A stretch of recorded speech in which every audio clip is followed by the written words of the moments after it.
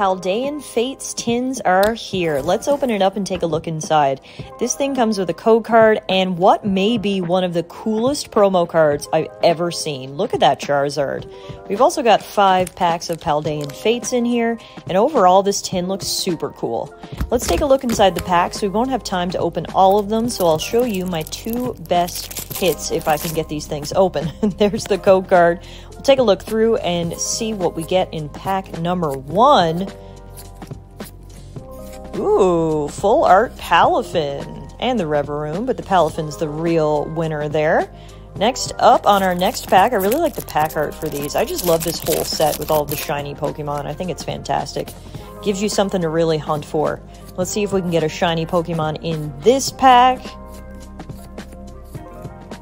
Hey, another full art, the Great Tusk ex. Here's all the cards that I pulled.